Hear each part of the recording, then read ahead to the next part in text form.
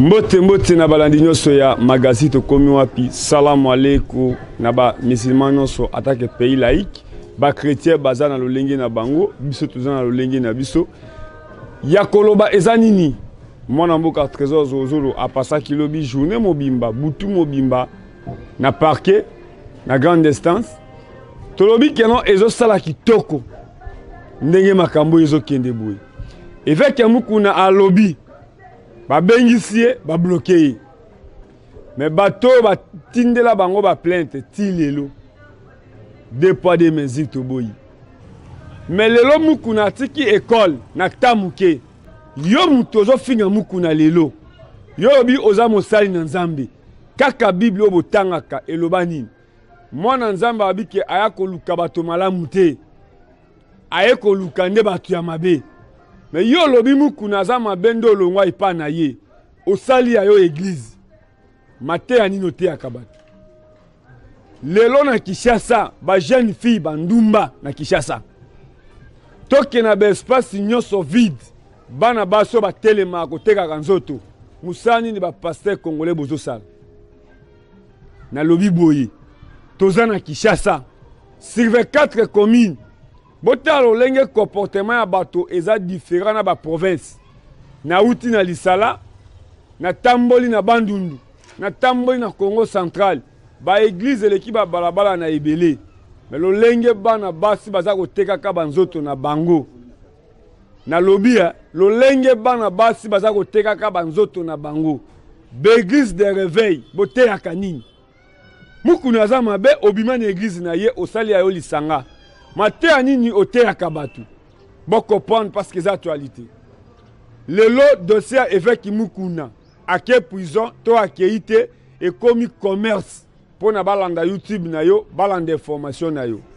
soki ake prison problème eza te mais nazotuna die makesela tonyokoma kotambola kodefendre bakongole regime oyo euti koleka 18 ans bongo ya bakongole bopito nyonso ekufa banda kotu ya leta ekenda nayebi ke bato ebele justice interpela bango tosepeli ndenge ekomi babengisi yo babloke yo me bato oyo mpe bobengisa liboso bobanda mpe na kokanga bango ti biso tokosepela tokotika te tokodefendre mboka ti na suka eveki mukuna bozwi ye me baoyo mpe bateka bandako ya leta baoyo mpe balia mbongo ya bato Yango tosengi na bato nyonso oyo biaki amela mbongo adresse na itaga 120 lelo mwana mboka eliezer molobeli ya babola mwana mboka eliezer molobeli ya peuple mwana mboka eliezer lolenge azosala mosala na ye malamu nde lelo baindikape balobi nini baindikape oyo baza na kati ya centre ville ya kinshasa Na kamwe ntango nasali ba elema lelo na ba mama baye kotala biso batangi me ba musicien congolais bozo merite kojoye mata na social boza parmi bato oyo bayembaka banzembo bozwaka bambongo coronavirus eye batangi fali pupa batangi papa sheri batangi ambassadeur de la paix batangi félix wazekwa batangi bamusicien ebele boede meme ata bahandikape na biso Yango nalobi boye mwana mboka Eliezer depute national asalaka makambo sa securite lolenge alakaki bino ke akokunda handicapé oyo akufa na kitambo pembeni na velodrome nde tolamuki 6 heures ake kokokisa maloba na ye apesi bango cercueil apesi bango corbillard apesi bango libulu aluwe na bis ndenge na kosenga na amos lubaki makambo nazoloba lokuta to ya solo lakisa biso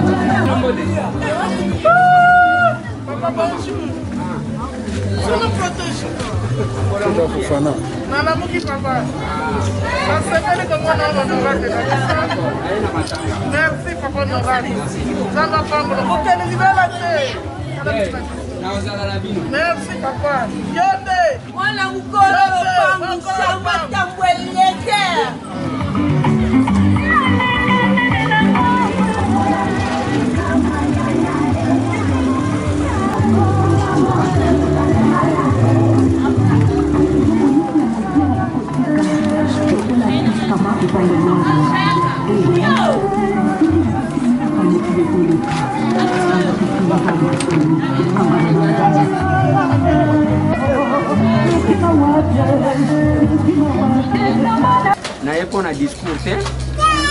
naye te mpo na koumela te bomoni naye ntongo ntongo parce que toza na misala mosusu na parlement kuna olingi tokende misala eh, eh, papa okofandaka na se ndenge wana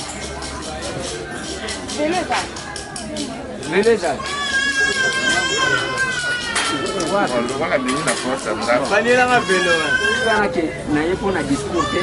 nazongela te te ah, bozo prévoir kobimisa ebembe kan ya papa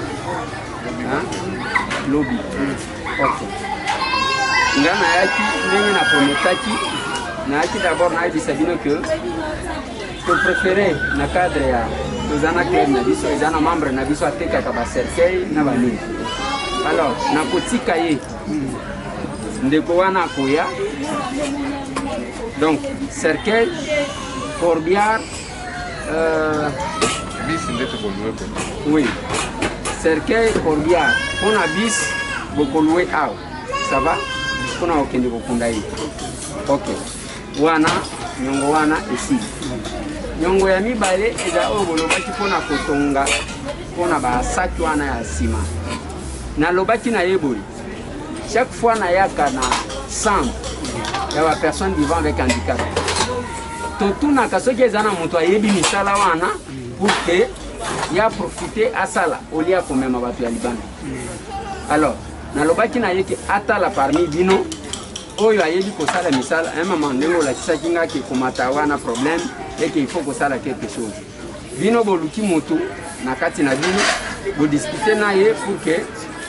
bayokana mpo na bamain d'oeuvre basalela bino mosala eloko ekotikala eza ya badouche na bino wana na korepondre sikoyo te nakende koluka mais entre temps soki na kati na bino boza na bagister bokobimisa ba gister na bino boza na gister hmm. mama bobimisaki ya gister na bino moko mpona kosala baporte bopesaki ye eh. ok bakosolola pour que naluka ce qu'il faut natinda pour que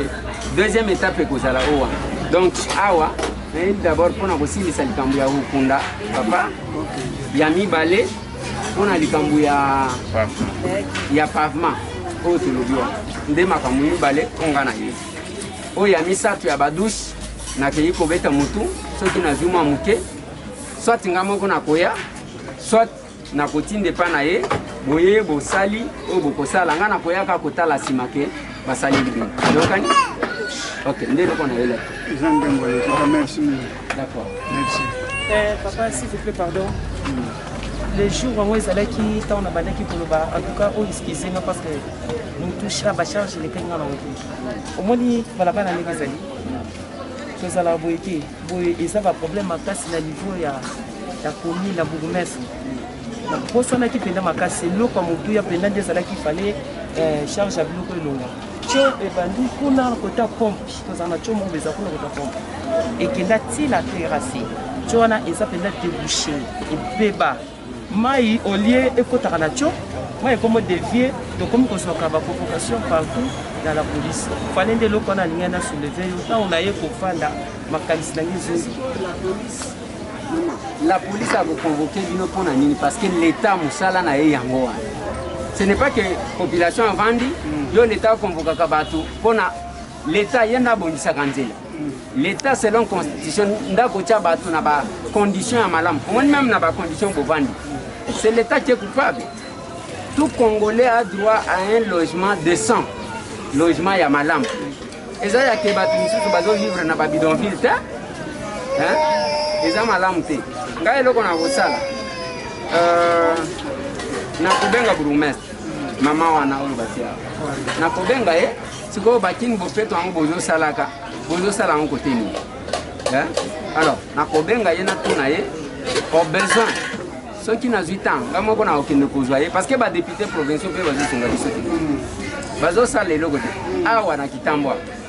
bovota depute provincial alors sikoyo bango bazosala nini parce que makambo ya mike mike wana bango nde bakokaki kotala babourgmestre na bagouverneur ekomi sikoyo biso tolongwaka likolo wana tokweyaka na se c'est pas possible nakomeka naza na numero ya bourgmestre nakobenga ye nayoka ye soki nayoki neti azosala bona kokitela ye nakoya na ye comme ça ye mpe atala Et puis bayebisa nga bazotindela bino convocation ya likambo nini ke bosali nini hein, mama donc eza ndenge wana en dehors de ça nazobakisela bino 50 dollars yake soki bozongi ndenge bazongaka okosomba mwa jus bato bameli eza boye te merci beaucoup famille azalaki mpe na koremercie mingi vraiment nzambe grâce oyo esali ke Tika Nzambe abakisela mikolo ebele na mokili. Officier simple militaire na capitaine aza grand frère na ngai ndenge kopatika biso na mokili na bamama ndomo toza kokende na wango oyo ekweli biso kuti ngai ndeki na ye naza na maboko me nazangi makoki ya kobunda etumba ndenge nzambe apamboli tosalisi ngai antuka bato yo mikolo ebeli lisu na mokili eloko nalelaki ye kaka nasenga na yo mpona mobima na ye misali mikolo asali yango te mpo nazangaki nalobi boye papa makambo ya kokunda nde oyo ngai nayelaki oyoki makambo ya kotunda nde nayelaki awa donc o bamboma o libulu o nini bosolola na ye na ye awa te mpona kosala nini nga mposa na nga lobi bokunga ye oyoki nga malamu président soki bozala na problème ye azalaka wana kitambo soki bozala na problème obengi ye okoyeba nini tokosala sava amakisaneza bote wana mwa mbongo moke ya ke soki bozongi cimetière bosangisa bato ebele te parce que eza koviole mais bokoyeba ndenge nini bokosorganize bosombi quelque sachet ya baji na mwa mbongo wana tiki bo bopesi quand même ndenge basalaka soki bozongi cimetière eza boye te ok toza nanu ntongo nawelisi nakende kosala balobi so papa ye na ntongo teke bana baomela ti ya miliki na mapa batya mateki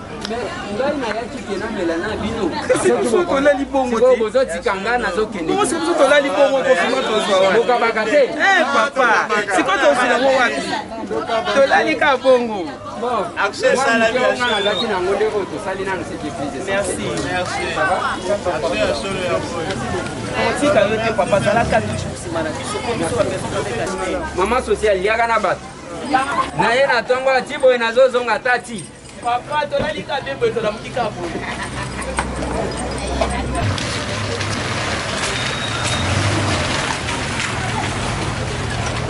ezalaka nde boye yango epesaka biso courage die makese azotambola makolo maza fiere ya komona ke oyo abiso papa oyo abiso patron oyo abiso abima representant ya peuple aosala mosala yo oza depute élu Oza Eliya Sankuru mais nini osalaka na Kinshasa? Oza Eliya Jera mais nini osalaka na Kinshasa? Oza Eliya Lisala mais nini osalaka meme na Kinshasa place Assemblée nationale ezali? Mwana mboka Eliezer lobi na butu koya na residence lolenge ba handicapé ya funa ya première heure na sima ya Claude Kabundu Alesa bayaki depuis 12 heures Ba fandi na residence ke il faut to mona ya biso representant. Botala mwana mboka Eliezer alobi kindeko kindeko Eliezer elongwaka te me kidepute eza mandat akokende mpe na 2023 mpe aseti me lokola pepe ezopesa ye confiance akoseta te botala lolenge asololaki na bango na 22 heures ntango azongi na residence na ye baelecteur na ye aza elu ya lukunga mais ba electeur ya funa bato baosalaka fier ya bavoi bazwa na funa botala ba electeur na bino boza ba depute national mava okende kodefendre sancour to congo central defendre place oyo bavotaki yo botala ndenge basololaki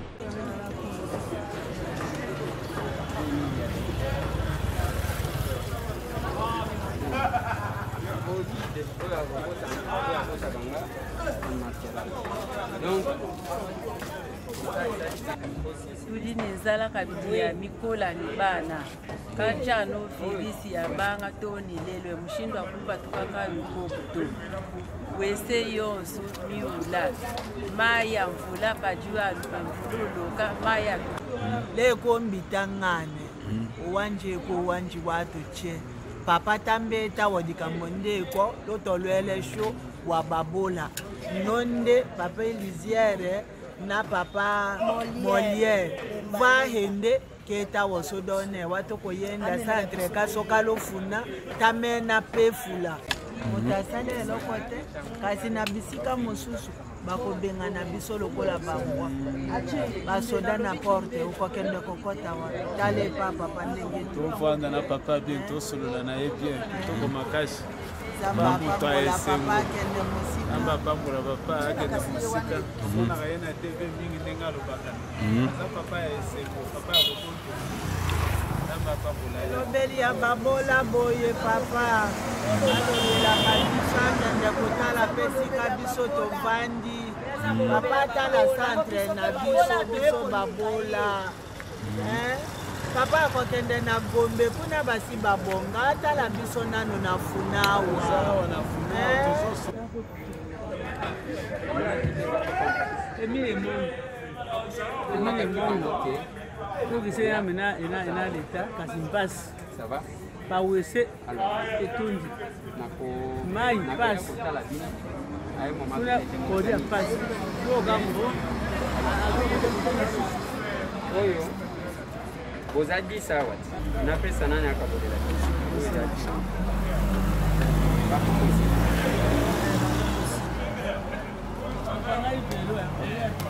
nimero otika oyo bon yo namonaki yo na nzela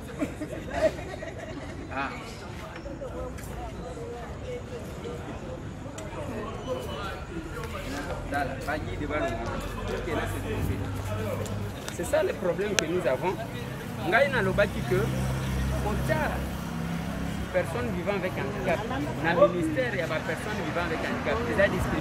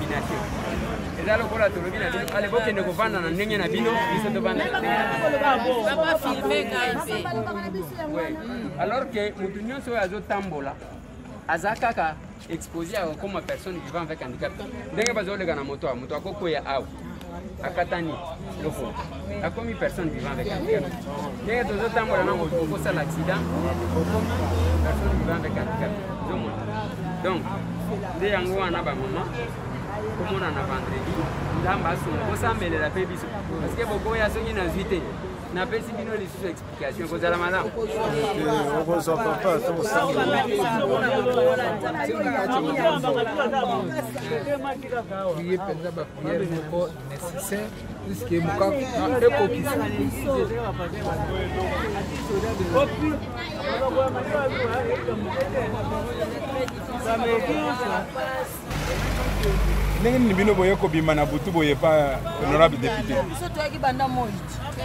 banda heure nini banda ba 15 heures tozalaki awa awa tokomi heure nini tokomi 20 heures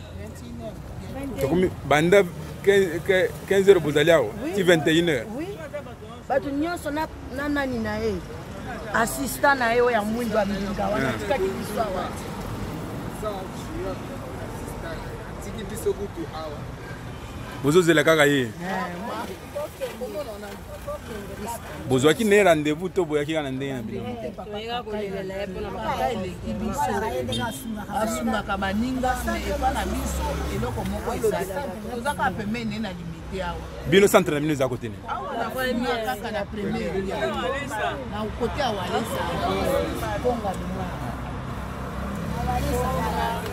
yango bolobi bokangela eloke mpenza ti akoya tina gombe kuna azokende osunga bango mais biso bavoisin eka 0 mètre awa azosunga biso te bino sikoyo badifficulté nini boza nango kolia eza te pasi bavelo ebebi wese etondi toza na bakantine ya kosukola maboko te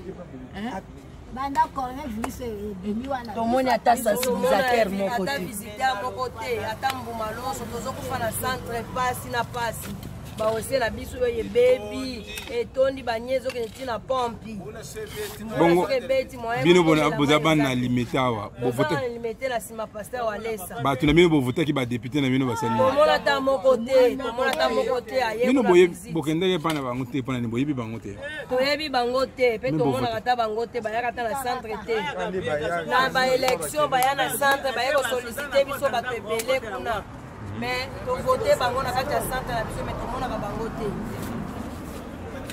okosala na nsima te bana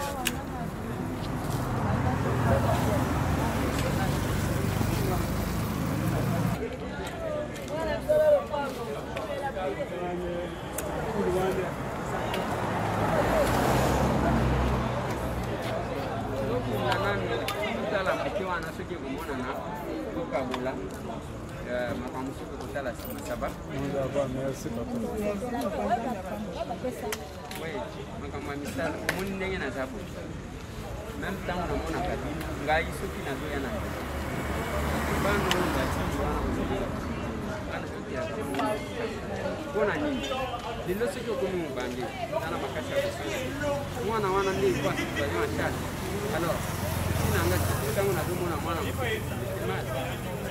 possibilité emonani olobaka ke mama sali emonani awa benga mwana c'est parce que nazo vote loi te soki tovote loi oyo biso tozolo okozala nga naza na leti na ngaza leta aloba na nga ke nazosambela ke nakoma handikape moto yango wana moto atanga mpo na nini parce que na états-unis tokosakana na handikape te bafacilité eza makasi lelo soki tovote loi ya que chaque société na congo au moins 5 pourcent ya batravailleur na bango bazala bapersonne vivant avec handicap tokomona bino na balabala te bato ebele bakobanda kokosa kozala bandikape parce que na états-unis wana nga nazolo ata soki moto azotanga soyi leta asalaki okute na supermarché azozwa bachario wana batalaka ere akoya na mosala te parce que bayebi ke aza personne vivant avec handicap donc ya toujours possibilité nyonso oyo tozosala na bino lelo c'est parce que politike ya malamu oyo yake bino bozwa misala eza te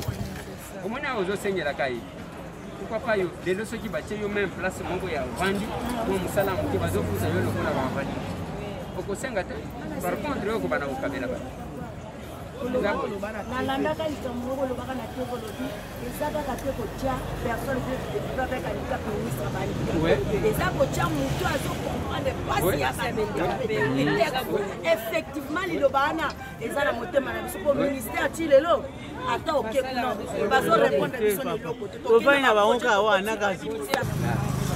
nga eloko nalobi awa boza desi ok lokola boinsiste tozobakisa mamanga na bongo ne nani ok masta yo nde okolakisa ngai mpona yebike bamasta bakosaka te masta mpe akosaka Te. Yo ozalaki Diana. Ya mama. Yo okendaka classe. Ya suku. Awa tomakisi ekomi 11. Ozo komela nga liste. Komela nga kasi.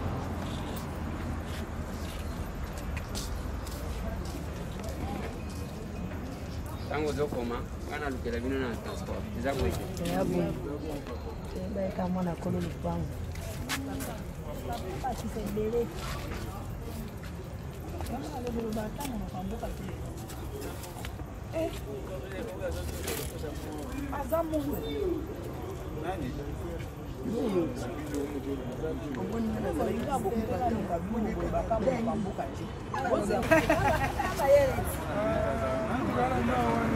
merci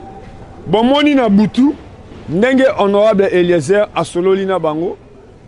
mwana mboka eliezer na résidence na ye botala papa oyo